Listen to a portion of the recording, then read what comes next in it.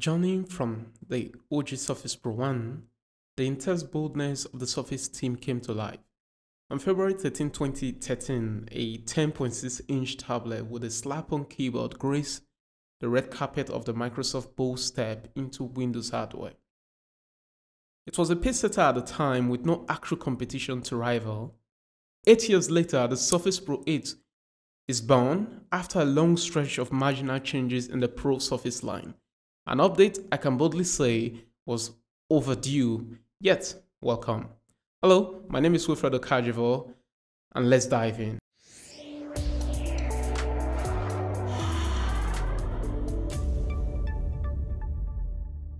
In my first impression video, I had remarked that the Surface Pro 8 is perhaps the best Windows 11 tablet combo out there. And I might actually happy that it lives up to those daring expectations quite easily. Now, talking about the hardware, it's not just about the tablet itself or the keyboard, but how the whole device comes together seamlessly to make quite a capable hardware. And then Windows 11 popping into the picture to make the entire experience and device a joy to use. You may be wondering if it is a laptop or a tablet, perhaps even both, Microsoft themselves are confused to sort out precisely what these devices are. Still, if you look through their website, they say the Surface Pro 8 combines the power of a laptop with the flexibility of a tablet, and every angle in between with an iconic kickstand, a larger 13-inch touch screen. Hence, what they are basically saying is that you are the master, and you define the Surface Pro and what it is, whether it is going to be a tablet or it's going to be a traditional laptop or a hybrid or, you know, the best of both worlds. So it's left for the user actually to decide what is what. The device measures 11.3 inches by 8.2 inches by 0.37 inches and weighs about 891 grams and it's made of anodized aluminium. Of course, if you go for the more costly uh, variant, Core i7 32 gig RAM, and um, mm, and others, you might have a slight bump in weight. Now, talking about the display, compared to the 12.3 display on the Surface Pro 7, the Surface Pro 8 packs a 13-inch display, and Microsoft markets the display as a visually a PixelSense Flow touch display. Well, jargons aside, the display is a beauty to behold.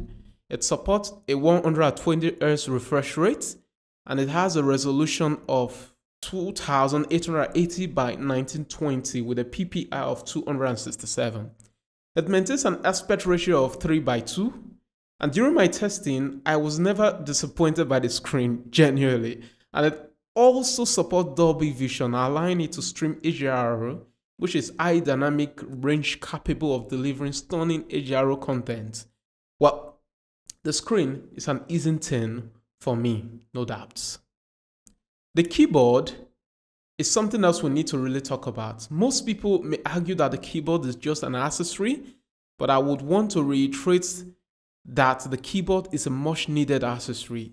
Although not included in a package uh, of the Surface Pro 8, I've seen no one who uses the Surface Pro 8 100% of the time without the attached keyboard. And that's a fact, except there might be unicorns out there, you know. Still, the Surface Pro comes to life with the keyboard made by Microsoft. It's a signature keyboard and made with Alcantara material, which feels premium. It has a pocket slot for the pen as well. Although sold separately, the keyboard is a priceless accessory for the Pro 8, and using the keyboard is a no-brainer really. It works as advertised. It isn't a shallow keyboard by no means, which is a good thing considering how thin it is yet still clicky.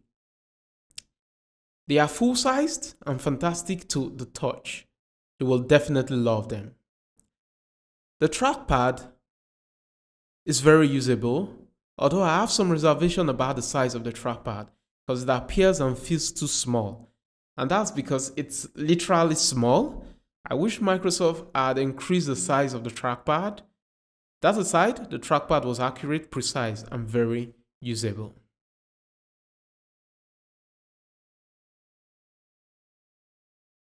Now, talking about other hardwares in the device, there is two USB-C ports on the device capable of Thunderbolt 4 speed, and this means that you can connect high-speed rate devices to the Surface Pro, for instance, an external GPU.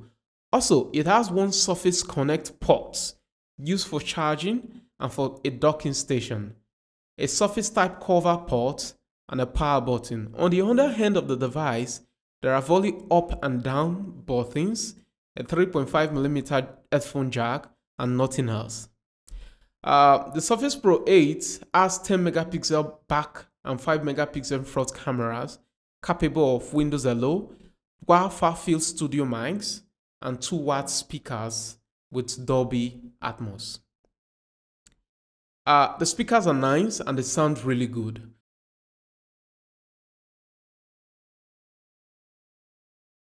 Easily, the Surface Pro 8 is a sitting champion in its category, and having used it for the past week has proven to be a pleasing delight, really. I wasn't just using it because I needed to review it, no, but I kept on using it all throughout the week because I couldn't stop myself from using it. This isn't the first uh, Windows 11 laptop or device I'm using. In fact, I have the Dell XPS 13 2-in-1 in the studio right now, which is a beast in its own right, although the Surface Pro 8 felt like a better Windows 11 device. Using it in tablet mode wasn't very comfortable for me because I generally don't fancy large tablets, but I did love the idea, especially when using the pen on navigating through sites. The 13 inch display though superbly beautiful, is not the best if you get tired easily while holding large displays or watching a movie while kind of sleeping. Because if that lands on you, it's gonna be another story. That aside, the tablet experience on the Surface Pro 8 is undefeated, no doubt. When docked into the keyboard, it felt seamless it didn't even come to my mind that I was using a tablet or a kinda hybrid thing. Using it on my lap wasn't as bad as I thought. They've gone a long way with their kickstands, really. The Surface Pro 8 felt natural sitting on a desk, the keyboard is sturdy and very usable, and the whole package comes together to make an unparalleled machine.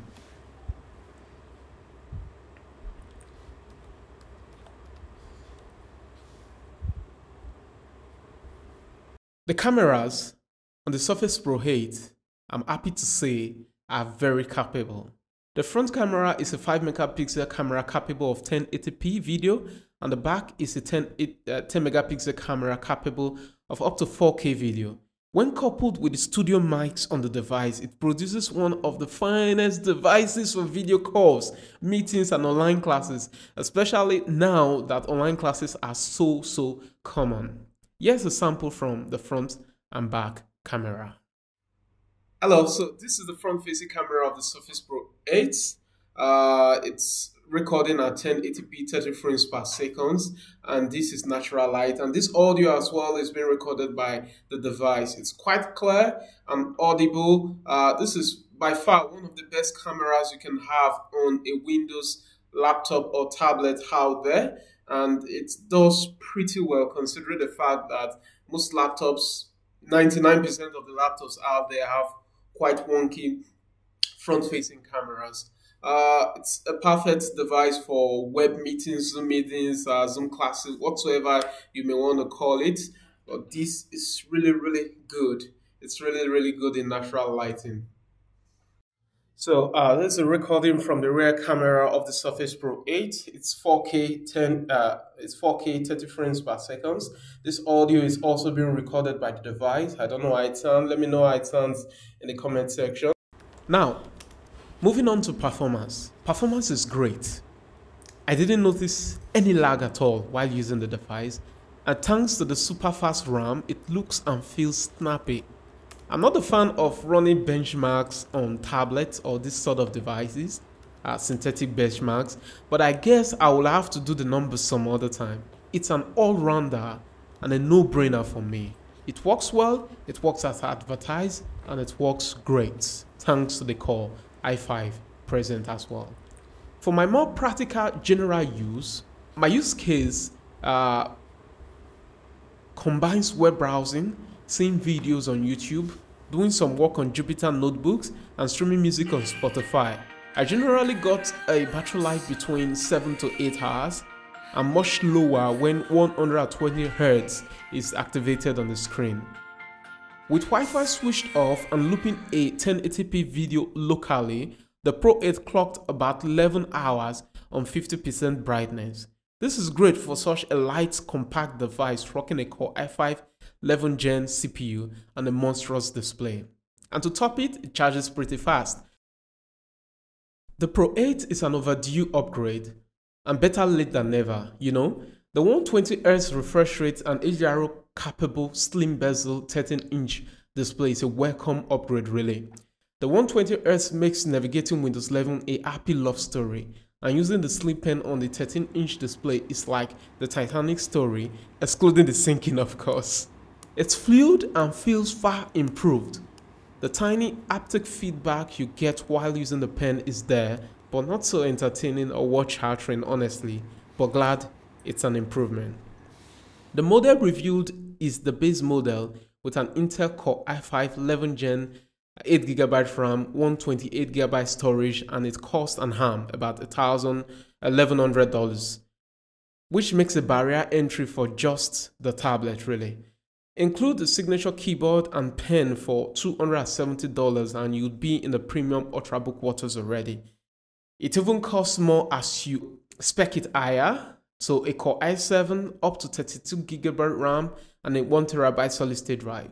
The Surface Pro 8 is for those who want a premium feel, a balanced performance, a beautiful screen, and the flexibility to jump between the laptop and tablet dividing line. It's for those who can justify spending that much for their use cases. Although almost $400 higher than the Surface Pro 7, this is a Microsoft tax. You have to pay for the best Pro tablet and pen and the choice to choose modes. Do let me know if you want to see an epic battle between the Surface Pro 8 and the Dell XPS 13 2-in-1 and that has been the Surface Pro 8 review. I hope you liked it. Do drop a comment, smash the like button and subscribe for more amazing stuff. So that's all for now. Stay awesome. Bye.